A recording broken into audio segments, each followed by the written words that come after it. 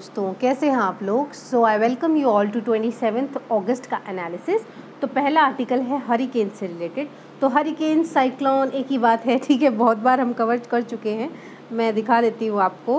तो देखो भाई, अगर इधर हो North American South American continent में तो हरिकेन कहलाता है, या फिर या कह लो पैसिफिक ओशियन में, या अटलांटिक ओशियन में है तो हरिकेन कहलाएगा। इंडियन ओशियन एंड आसपास रीजन में कोई भी स्ट्रॉम बन रही है, उसे साइक्लोन कहलाएगा, और यहाँ पे बन रही है साउथ चाइना सी वाले एरिया में तो टाइफून कहलाएगा, ठीक है? तो भूलना नहीं है, देख लेते हैं हरिकेन्स के बारे में। तो south western Louisiana in US में ये हिट किया है हरिकेन लौरा ठीक है?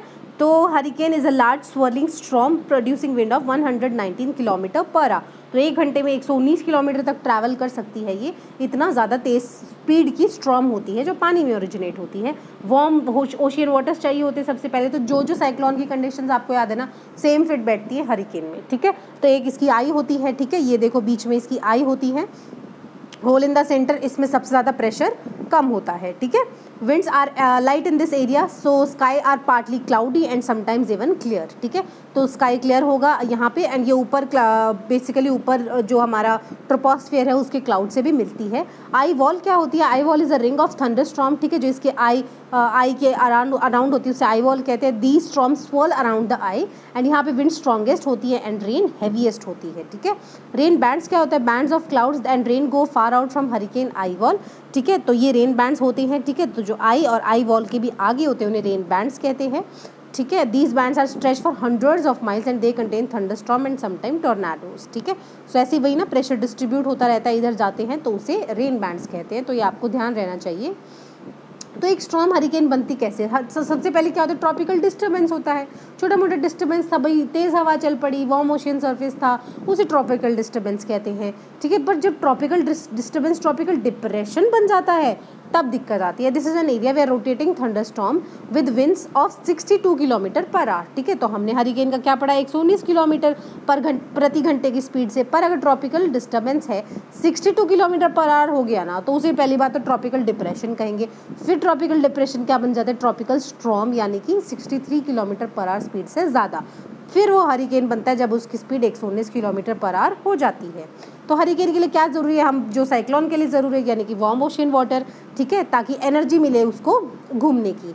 Usually the surface water temperature कितना? 26 डिग्री सेल्सियस के आसपास होना चाहिए 26 सताईस degree Celsius and with winds that doesn't change much in speed और डायरेक्शन तो वही स्काई पे वही ना एक डायरेक्शन में चलती रहेगी तभी तो स्पीड बनाएगी वरना कभी इधर से आगे कभी उधर से आगे पानी को पता ही नहीं कहाँ जाना है कहाँ से मैंने ट्रॉपिकल स्ट्रॉम बनानी है। सो so, इसलिए होता है। And wind that change a lot with height can rip storm apart मान लो कि स्ट्रॉम ऐसे बन रही है, एकदम से विंड चली गई तो वो स्ट्रॉम तो विंड चल पड़ी तो स्ट्रॉम तो डिस्टर्ब हो जाएँगी ना। So these are the condition की स्टैगनेंसी होनी चाहिए। एंड विंड विंड है भी तो उसको स्पीड और डायरेक्शन में ज़्यादा बदलना नहीं चाहिए। एंड ऑब्वियसली पानी का टेम्परेचर छब्बीस सताईस डिग्री सेल्सियस होना चाहिए। Then is about attorney general देख लेते हैं। फ़िलहाल हमारे attorney general K K Venugopal हैं। ठीक है? सो अभी उनको ऑब्वियसली सुप्रीम कोर्ट ने में समन किया होगा for some reason so reason is not important so important क्या है? It is a central government chief legal adviser को तो कोई भी लीगल वाली चीज़ आती है ना? तो बेसिकली uh, जैसे कि टीवी सीरियल्स में होता है ना बुलाओ हमारे लॉयर को। मैं आपके लॉयर से बात करवाता हूँ। तो जो सेंटर का लॉयर है ना basically he is attorney general ठीक है? एंड जो स्टेट लेवल पे होता है उसे एडवोकेट जनरल कहते हैं and the primary lawyer in the Supreme Court of India मतलब सेंटर की तरफ़ से. He is a part of union executive so this is important आप मुझे रिसेंट नेक्स्ट बताओगे कि यूनियन एग्जीक्यूटिव में कौन कौन मेंबर्स होते हैं ठीक है? सो so, आपको याद होना चाहिए यूनियन एग्जीक्यूटिव के पार्ट्स क्या क्या हैं. अपॉइंटमेंट एंड एलिजिबिलिटी क्या होता है? प्रेसिडेंट ऑफ़ इंडिया अपॉइंट करते हैं इनको under article 76 of the constitution तो कॉन्स्टिट्यूशन बॉडी है attorney general of India okay and holds office during the pleasure of president तो attorney general and advocate general दोनों ही कॉन्स्टिट्यूशनल पोजिशन है. And he must be a person qualified to be appointed as a जज of Supreme court तो एक advocate हैं. Obviously इतना तो उसकी प्रेस्टीज होनी चाहिए ना कि वो जज ऑफ़ द सुप्रीम कोर्ट बनने के लायक हो. इंडियन सिटीजन होना चाहिए for sure either completed five years in high court and या फिर दस साल हो गए होंगे उनको एडवोकेट के तौर पर ठीक है? तो ये रीजंस होने चाहिए कंडीशंस होने चाहिए। एमिनेंट जुरिस्ट भी हो सकता है, पर आज तक ऐसे किसी को अपॉइंट नहीं किया। वैसे कोई लेंस लगा के थोड़ी ना ढूंढेंगे कौन कौन एमिनेंट जुरिस्ट है। तो बेसिकली जो दिखता है कि ठीक है भाई अच्छा काम कर रहे हैं, सरकार उनको अपॉइंट कर देती है। पावर्स एंड फ़ंक्शंस क्या attorney general is necessary for giving advice to government in a legal matter जो भी उनको कन्फर किया जाएगा। और भी कोई लीगल ड्यूटीज़ जो प्रेसिडेंट का है, वो भी उनको करनी पड़ती है। अटॉर्नी जनरल का राइट होता है कि भाई वो सेंटर की तरफ़ से audience as a audience part कर सकते पार्ट ले सकते हैं इन ऑल कोर्ट्स ठीक है? कोई भी हो, किसी भी कोर्ट में as well as right to participate in proceeding of parliament पर वोट नहीं कर सकते। तो यही कैच उठाते हैं यूपीएससी पार्टिसिपेट कर सकते हैं प्रोसीडिंग्स में, राज्यसभा, लोकसभा में, पर वोट नहीं कर सकते। Attorney general appears on the behalf of government of India in all cases ठीक है? In the Supreme Court in which government of India concern होती है. He also represent government of India in any matter जो president उनको refer कर देगा under article 143 ठीक है? तो वन फोर्टी थ्री आर्टिकल में बेसिकली क्या होता है? ये एडवाइजरी जुरिस्डिक्शन होती है सुप्रीम कोर्ट की, ठीक है? अगर प्रेसिडेंट चाहे तो वो सुप्रीम कोर्ट से एडवाइस ले सकते हैं किसी ना किसी लीगल मैटर पे, ठीक है? पर वो एडवाइस ऑब्वियसली बाइंडिंग नहीं होती.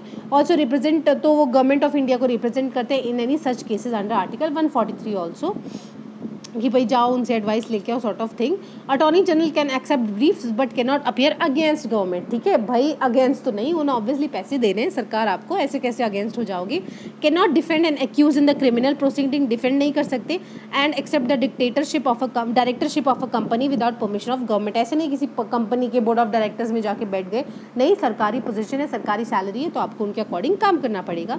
He is assisted by two solicitor general and four additional solicitor generals ठीक है? तो नीचे जूनियर हैं बेसिकली जो इनका काम कर रहे हैं। So this was it about attorney general article seventy six you must remember and article one forty three then arm forces tribunal so Delhi based principal bench of the arm forces tribunal ने initiate किए hearing of matters pertaining to regional benches through video conferencing तो नीट जेई तो physical presence होना है but supreme court की या ट्रिब्यूनल्स की हियरिंग थ्रू वीडियो कॉन्फ्रेंसिंग होनी है this you must remember about A F T it is a military tribunal in India basically it was establish in two thousand nine under arm forces tribunal act of two thousand seven act was pass on the basis of recommendation of one hundred sixty ninth law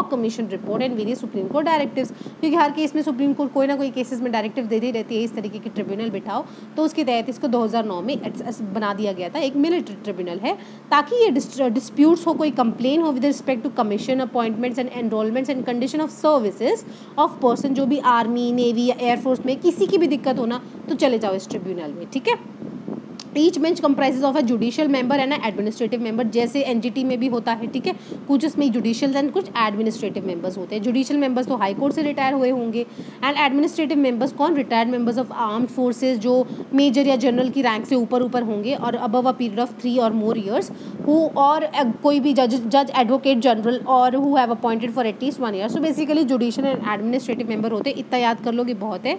who can be chairperson the person holding the office of chairperson of a F T have been इधर a retired जज of Supreme court chairperson कौन होना चाहिए, और retired chief justice of high court ठीक है? तो retired जज होने चाहिए सुप्रीम कोर्ट के, क्योंकि ऑब्वियसली आप कोई रूलिंग पास ट्रिब्यूनल का क्या है? कोई रूलिंग ही पास करेगा ना? तो उनके लिए कोई एडिक्वेट नॉलेज होनी चाहिए। तो इसीलिए रिटायर्ड जज ऑफ़ सुप्रीम कोर्ट या retired chief justice of high court he chairperson होने चाहिए। बाकी मेंबर्स तो जुडिशियल और एडमिनिस्ट्रेटिव दोनों प्रकार के होते हैं। एक्सेप्शन क्या होते हैं? Paramilitary forces including Assam Rifles and coast guard इस ट्रिब्यूनल के अंडर नहीं आते ठीक है? ये इंपॉर्टेंट है। इज़ ऑल्सो भी consider to be criminal code with respect to I P C ठीक है? तो क्रिमिनल कोड है and code of C R के अकॉर्डिंग भी ये क्रिमिनल कोड है। तो क्रिमिनल वाली जो भी प्रोसीडिंग्स uh, है वो भी यहाँ पे हो सकती हैं। Appeals against this decision can be taken only in Supreme Court तो हाई कोर्ट में नहीं जा सकते तो सुप्रीम कोर्ट में ही जाना पड़ेगा against the decision so this was this was it about armed forces tribunal then U K eat out help out scheme तो बेसिकली क्या है?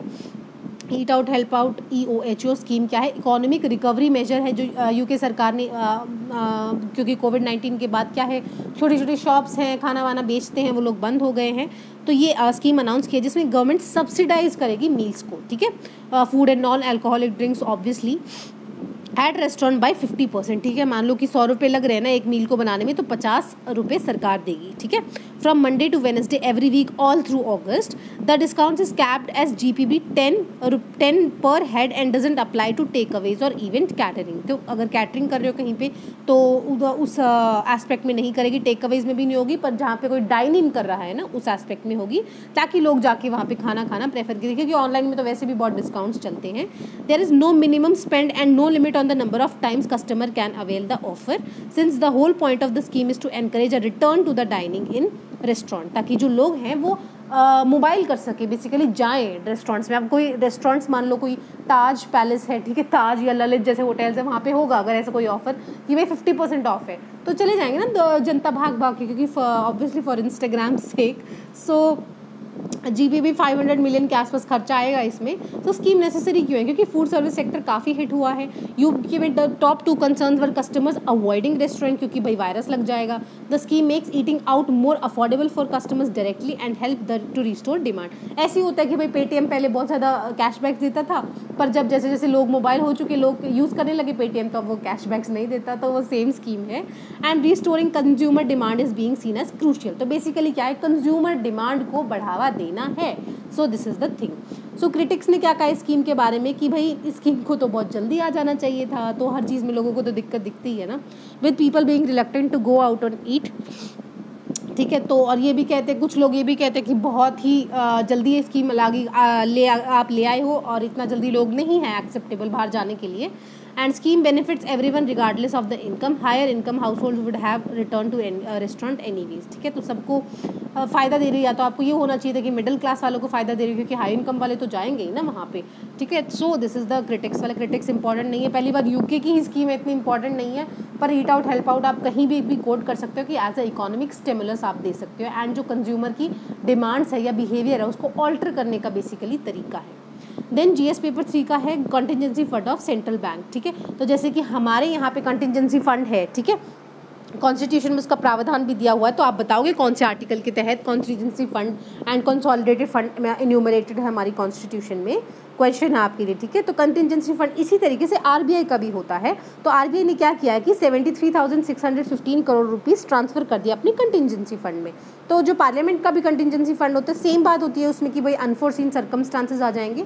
उसके लिए एज अ शॉक एब्जॉर्बर की तरह हम एक्स्ट्रा पैसा रख रहे हैं, ठीक है? तो सेम चीज़ आरबीआई के साथ भी सेम ही पर्पज से इसको लिया जाता है। एंड अब कंटिजेंसी फंड टोटल जो आरबीआई के पास है, सिर्फ़ कंटिजेंसी फंड वो कितना है? दो lakh sixty four thousand thirty four rupees crore thirty four crore rupees हैं बेसिकली कंटिजेंसी फंड में।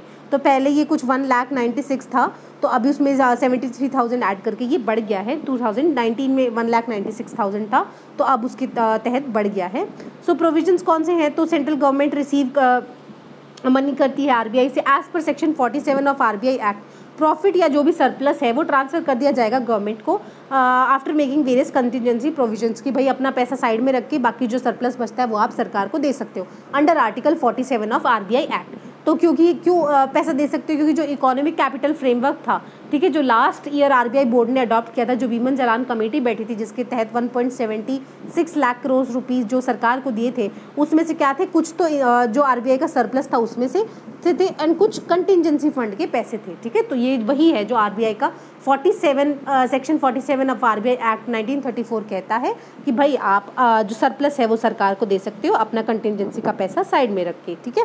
एंड दिस वाज इट फिर इसको स्ट्रेंथन किया by the economic capital framework and Bimal Jalan committee which you must remember तो contingency fund क्या होता है कि भाई अनएक्सपेक्टेड एंड अनफोर्सिन कंटिजेंसीज आ गई दिक्कतें आ गई उसको कर्व करने के लिए? ठीक है, अगर कोई मान लो depreciation of value of security हो गई, ठीक है मतलब कि हमारे जो ऑब्वियसली हमारी जो रेटिंग्स हैं, जो ग्लोबल क्रेडिट रेटिंग एजेंसीज हैं, ठीक है एस एन पीज हैं स्टैंडर्ड पुअर्स एंड मूडीज़ हैं, उन्होंने हमारी रेटिंग्स हम जस्ट एक स्टेप लिटल है, जो आई थिंक हमारी B B B something rating है। इसके नीचे अगर रेटिंग चली गई तो हमारे जंक बॉन्ड्स कहलाएँगे कि भाई यहाँ पे इन्वेस्टमेंट करना काफ़ी रिस्की है, ठीक है? क्योंकि अनप्रडिक्टेबल है यहाँ पे। तो अगर इतनी, अगर ये कंटिजेंसी कहाँ काम आती है? अगर हमारी इस तरीके की रेटिंग गिर गई एंड जो हमारे पास आरबीआई के पास सिक्योरिटी है, सरकारी सिक्योरिटी उनकी फिर वैल्यू ही क्या बचेगी? लोग कौन खरीदेंगे?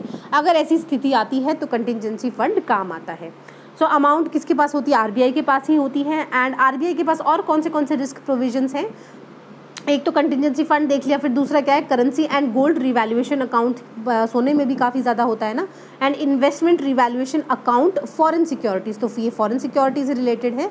एंड रुपी सिक्योरिटीज़ भी हैं। Together they amount to thirteen point eight eight lakh crore तो कंटिजेंसी कल्ला two lakh sixty four thousand crores हैं। एंड ये टोटल जो हमारे जो रिस्क वैल्यूज़ है basically thirteen lakh crore rupees है आरबीआई के पास, जो रहते हैं as a risk provision accounts so CGRA क्या है? Currency and gold revaluation account कुछ पैसा गोल्ड बॉन्ड्स में या गोल्ड में भी रखती है RBI to take care of currency risk and interest rates क्योंकि गोल्ड का काफ़ी रिटर्न आता है, छब्बीस सत्ताईस परसेंट रिटर्न आता है.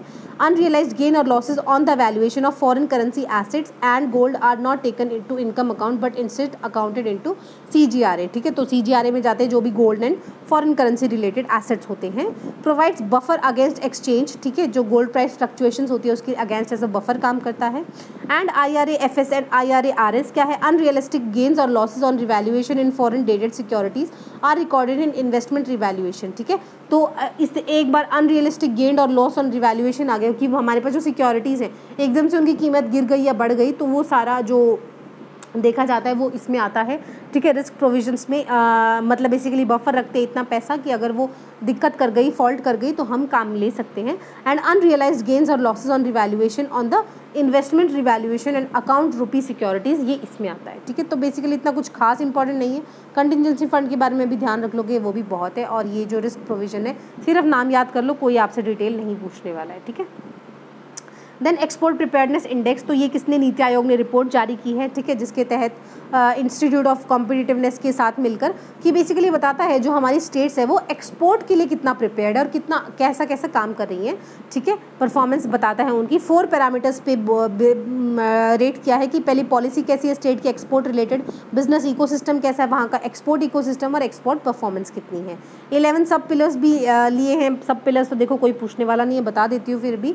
एक्सपोर्ट प्रमोशन पॉलिसी कैसी है इंस्टीट्यूशनल फ्रेमवर्क बिज़नेस इन्वायरमेंट कैसा है इंफ्रास्ट्रक्चर कैसा है ट्रांसपोर्ट कनेक्टिविटी कितने कितने फ़्लाइट कॉरिडोर्स हैं एक्सेस टू फाइनेंस कितना है, ठीक है ट्रेड सपोर्ट कितना है रिसर्च एंड डेवलपमेंट कैसी है तो ये तरीके की चीज़ें भी देखता है।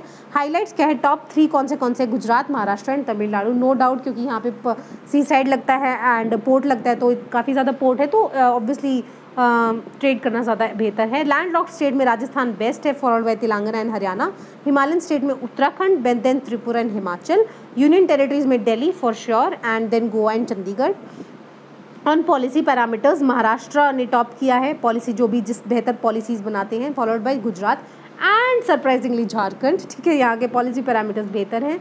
On business ecosystem parameters Gujarat was ranked ठीक है बिज़नेस इकोसिस्टम कैसा है वहाँ का? तो गुजरात ऑब्वियसली वहाँ पे टेक्सटाइल इतना बेहतर है followed by Delhi and Tamil Nadu. And export ecosystem parameter ecosystem कैसे महाराष्ट्र ने टॉप किया है for followed by Odisha and Rajasthan तो देखो, इतना बहुत इंपॉर्टेंट नहीं है थोड़ा नॉर्थ ईस्ट का याद कर लो, थोड़ा यूनियन टेरिटरीज का देख लो एंड मेन आपने याद रखना है गुजरात एंड ये, तमिलनाडु एंड महाराष्ट्र, ठीक है? तो ये इंपॉर्टेंट है कि किन किन ने टॉप किया है, ठीक है? तो export performance parameter at present seventy percent of Indian export ने फाइव स्टेट्स डोमिनेट करती है, ये इंपॉर्टेंट है, गुजरात, महाराष्ट्र कर्नाटका, तमिलनाडु एंड तेलंगाना ऑब्वियसली जो सी साइड स्टेट्स हैं, वही ऑब्वियसली डोमिनेट करेंगी ना। एक्सपोर्ट में क्या चैलेंजेस है, ये ज़रूरी है। Inter and intra regional disparities in export infrastructure ठीक है? आपस में स्टेट लड़ते रहते हैं। Poor trade support and growth orientation among states growth oriented नहीं है पॉलिटिक्स ओरिएंटेड है। Poor research and development infrastructure तो ये तो हर जगह ही दिक्कत है। क्या हो सकता है joint development of export infrastructure ठीक है, दो स्टेट आपस में मिलकर इंफ्रास्ट्रक्चर बना सकती हैं strengthen industries and academia linkages ठीक है? ताकि वो रिसर्च एंड डेवलपमेंट करके कुछ हमें बेहतर तरीका बता सके। Creating state level engagement for economic diplomacy revamp design and standard for local products obviously local को हमने बूस्ट करना है। Harness the innovation innovating tendency to provide new use cases for such products with adequate support from centre rapid growth of exports ज़रूरी है क्योंकि obviously हमें exports को boost करना है in the current COVID situation and ताकि हम global value chains को सस्टेन कर सकें and reap the benefits of integrated production networks then is about N D C T I A national determined contribution transport initiative for Asia तो नीति आयोग ने launch किया है Indian component of the national determined contribution transport initiative for Asia तो अब कुछ transport से related ही होगा ना कि हमारा क्या डिटरमाइंड कॉन्ट्रीब्यूशन है। जॉइंट प्रोग्राम है किसका? आई की आई ठीक है? I K I international climate initiative the German ministry of environment and ठीक है तो बेसिकली सपोर्ट किया है जॉइंट प्रोग्राम है। एंड इट एम्स तो ये एन के बारे में बता रखा है promote comprehensive approach to decarbonise transport in in India Vietnam and China तो तीन कंट्रीज़ को टारगेट करेगा डी कार्बोनाइज करेगा, जो कार्बन डाइऑक्साइड एमिशन है उनको डिक्रीज करेगा या दूसरे पॉल्यूटेंट्स हैं उनको भी. It is implemented by consortium of seven our organisation तो सात और ऑर्गेनाइजेशन मिलकर इसको काम करती हैं. On behalf of government of India हमारे यहाँ से कौन है? हमने सिपाही भेजा, NITI Aayog. So an programme चार साल की ड्यूरेशन का है. इंडिया को अलाउ करेगा एंड अदर पार्टनर कंट्रीज़ जो Vietnam China in India.